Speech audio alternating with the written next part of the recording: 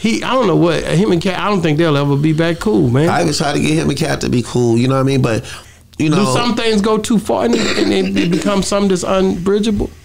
I don't think. I, I think. I think as long as you living on this earth, You can make a change. you could you could change anything. Yeah, we on Boss Talk 101. 101. Yeah, we gonna talk. Looking up like, damn. You know, if I hang out with you for 15, 20 years, mm-hmm. you know what I mean? I meet you, I'm a thousandaire, you, you worth 10 million. If I look up 15 years later, nigga, you worth 220 million and I'm still a thousandaire, nigga, you not stopping me, you blocking me, nigga. Wow. That's a block. If my friends become your friends, your friends is your friends, my friends are no longer my friends, nigga, you sabotaging Yep. me. Nigga, you the devil. Mm-hmm. You know what I mean? You so now, you know, so and so that's the type of stuff they do. They I say your enemies that keep you close, not because they love you, because they waiting the right time to destroy you.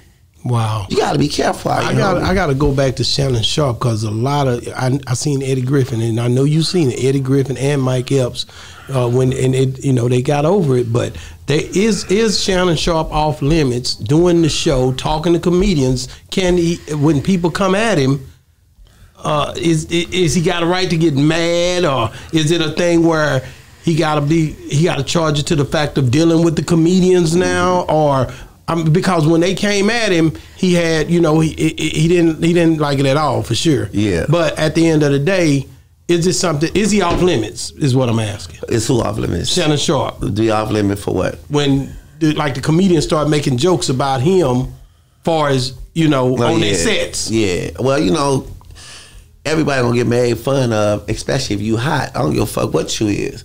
Yeah, If they you- were coming if, at him for- if, if you hot, you gonna be a target. I don't give a fuck if your mother Teresa.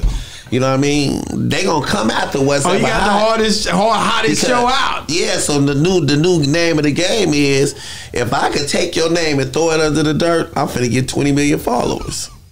So I try to stay nameless and throwing people under the bus. Under the bus. So I don't want to say their name to get my point across. You Yeah, know what I mean? yeah. Because that's just and that's that's that's like what Katt Williams did. That was raw gangster shit. You know what I'm saying? Yeah. You know what I mean? Yeah, I said I, I did. I, I called Faizon when it happened. I said, "Man, your name been mentioned two times." He fell back asleep. You know, I hear. I said, "Woke him up." Guy say, "Nigga, they, your name mm-hmm. keep coming up on on this interview." Yeah. And he finally watched it. But you know, at the end of the day, he I don't know what him and Katt. I don't think they'll ever be back cool, man. I even try to get him and Katt to be cool. You know what I mean? But you know, Do some things go too far and it, and it becomes something that's unbridgeable? I don't think. I, I think. I think as long as you living on this earth, You can make a change. you could you could change anything. You know what I mean? You just change. I mean, look at me, man. I changed, so you could change. You know what I mean? Yeah. But at the end of the day, you know, I the I love peace. Mm-hmm. It's greatest riches God ever gave me was peace. I tell my wife every day, only thing I love more than you is peace. You know what I mean? And if the peace, when the peace go, I'm following the peace. You know what I mean? I don't bring you know I bring you peace, bring me peace. I don't want to come home, give me peace. I give you peace because that's why I don't cheat.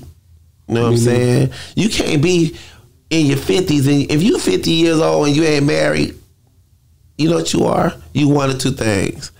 You even a you even a uh, you if you 50 years old and you ain't and you ain't married, you know what you are? You even a, a, a trick or a spiritual advisor. too crazy. A trick on spiritual advisor. I get it, man. But you you ran away from my question. What's was that question? was Shannon off limits? Should they should comedians not speak on him or he? But you did you did answer. You Nah, said they- they will speak. They you say they on gonna talk about. That's you what he talking said. and you getting the information. They looking at you. So now You laughing like I be doing. Whether they laughing, you laughing or not, they looking at you, nigga. And now they're studying you. If you don't want nobody to talk about you, get off camera. Get off. Get off. Shit, they gonna be talking about me, nigga. Look Oh, at they me. do. Let's They- go to this big Nigga said this. He They said gonna be that. tearing my ass Me up. too. you know That's why? I don't trip off of it. Because at the end of the day, people gonna say what they want to say. Some are gonna love you, some are gonna like you. But I, my advice is, don't read the comments. The comments is the devil is what uh, say cheese Sean Cotton told me on Yeah, that comments. He man, said he ain't read them in five years. You better not read them. they serious, ain't they? hell, hell yeah, they tear your ass up. Say, let me let me ask you, man. I like- read the comment. I read some comments on me one time. I went and tracked the nigga down. You found him? Hell yeah, slapped the shit out of him. say that's real. I, I, the nigga was talking like he was a raw nigga. A Nigga, raw? I came out- I- he was talking some shit that was so raw. You went to his IG. Nigga, I tracked that nigga down, sick the bitch on him. Then the nigga bark. nigga, I, nigga got the nigga address. I rolled up on that nigga, man. That nigga about four three. I, I didn't even need both hands for that nigga. I slapped that nigga clean across the street, bitch ass nigga. Man, wait a minute. microphone game grab. I was mad as that nigga lucky. Say, wait a I'm, minute. I'm mad enough he wasn't big enough for me to kill his bitch ass. I sure They would. be talking them comments that make you go off on them. shit, But yeah. Let me ask you They be this. man. saying it for a reaction. That's why I read them. So they said the fuck they want to Let me say ask about you me. this, man. Um, Katt Williams, he went in pretty good on Rickey Smiley. Yeah. It's- I didn't even know about the Friday situation.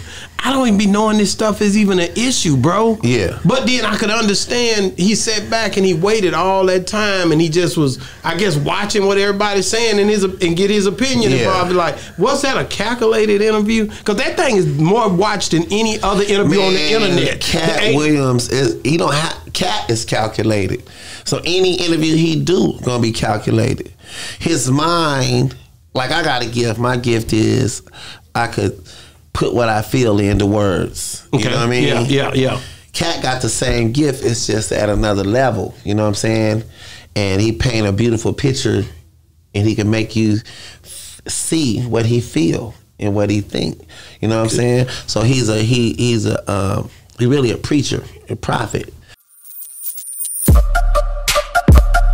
Yeah, we on Boss Talk 101. 101. Yeah, we gonna talk.